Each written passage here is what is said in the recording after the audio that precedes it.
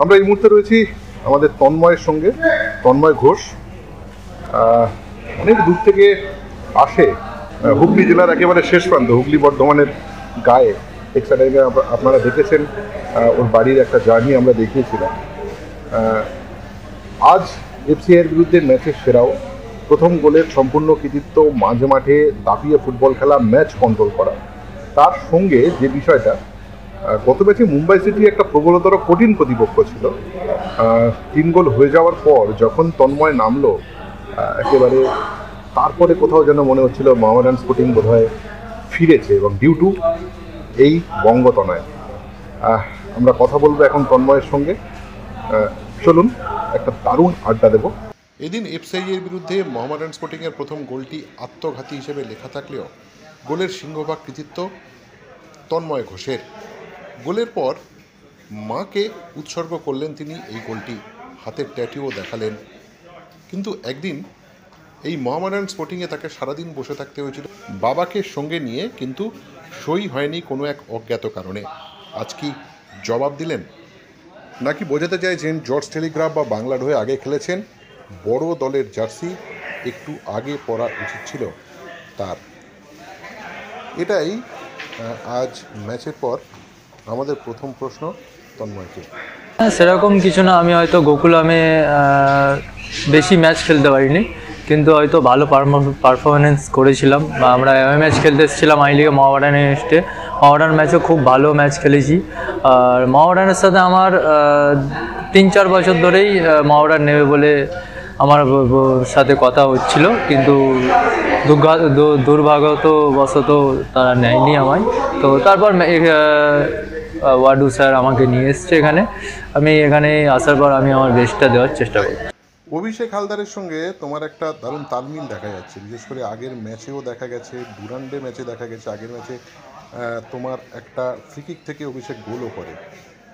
কারণটা কিছুই না, কারণটা আমরা রুম পার্টনার থাকি একসাথে, সবসময় গল্প করি। তো যেটুখানি প্র্যাকটিসও ভালো প্র্যাকটিস একসাথে করি।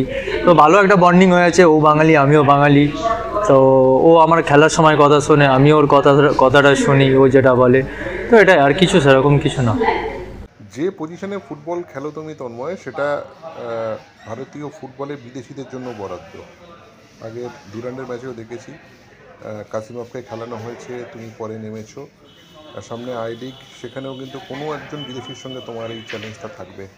হ্যাঁ জায়গাটা হ্যাঁ হান্ড্রেড পার্সেন্ট চ্যালেঞ্জ তো থাকবে একটু। আমি ইন্ডিয়ান প্লেয়ার ও ফরেনার প্লেয়ার তো কোচও সব কোচই ফেভার করে একটু ফরেন ফরেন প্লেয়ারকে তবুও আমি আমার হান্ড্রেড পার্সেন্টটা দিচ্ছি দেওয়ার চেষ্টা করছি প্রতি প্র্যাকটিসে তো চেষ্টা তো করছি আমি আমার মতো খেলার। থ্রু আউট দ্য সিজনের জন্য কোচ মেহরাজউদ্দিন কি কোনো পরামর্শ দিয়েছে তোমাকে?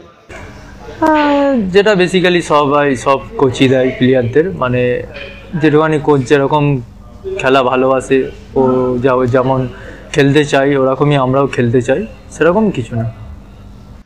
দীপুদার মতো একজন প্রাক্তন ফুটবলার নিশ্চয়ই রয়েছেন তার কাছে পরামর্শ পাচ্ছ। আচ্ছা আরেকটা বিষয় সমর্থকদের কাছ থেকে কিন্তু যথেষ্ট আদর উষ্ণতা পাচ্ছ সেটা কেমন লাগছে?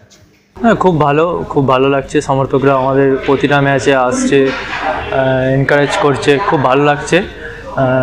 এরকমভাবে আমি থ্যাংক ইউ জানাব যে সমর্থকদের আসার জন্য প্রতিটা ম্যাচে তো খেলায় হার জিত আছেই।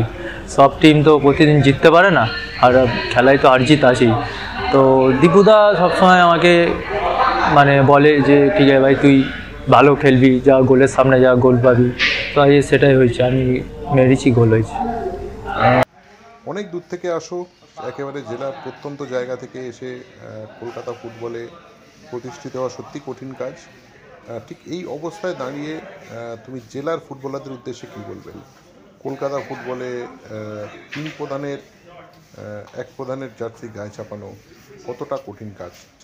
হ্যাঁ এটা তো অবশ্যই প্রচণ্ড কঠিন কাজ। কারণ জেলার ফুটবল, আমি আমার এলাকার প্লেয়ারদের বলব, জেলার প্লেয়ারদের বলব যে প্র্যাকটিস করতে হবে। প্র্যাকটিস না করলে কিছু ফল নেই। আর যখন যেখানে যে কোচই খেলাক না কেন যে একটা ডিস্ট্রিক্ট টিমের হয়ে হোক কোনো ক্যাম্পের হয়ে হোক খেললে ওখানে হান্ড্রেড পার্সেন্ট দিতেই হবে। ওখানে হান্ড্রেড পার্সেন্ট না দিলে হয়তো আজ আমি এই জায়গায় আসতে পারতাম না। হয়তো আমি ওখানে আগে হান্ড্রেড পার্সেন্ট কোথাও কোনো না কোনো সব ম্যাচে দিয়েছিলাম। ওই জন্য আজকে আমি এই জায়গায়। তন্ময় তিন বছর পরে নিজেকে কোন জায়গায় দেখতে চাও? Hundred percent ISL and India team thank you thank you this is from our side. Thank you thank you. Extra time